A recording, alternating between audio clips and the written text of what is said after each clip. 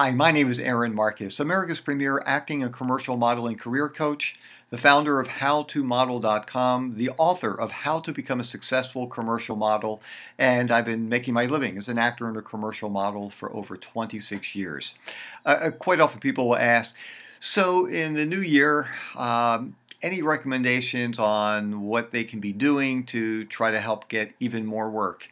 And absolutely, I do have some ideas. Uh, a couple of really quick things that I'll share with you here. One of them is our world is changing very dramatically, especially uh, when it comes to electronics, uh, how the industry is working. We've become uh, much more technologically involved. And so, without a doubt, one of the things that you really want to be doing in the new year is make sure you know how to shoot auditions from home.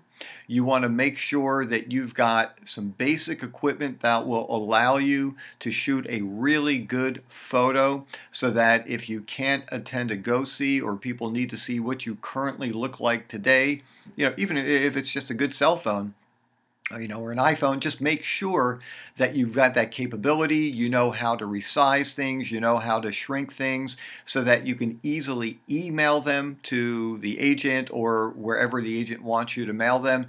So make sure that you take some classes or you talk with people or you study online and and just just know how to do some of the basic things that uh, all actors and commercial models need to be able to do to have success in this industry.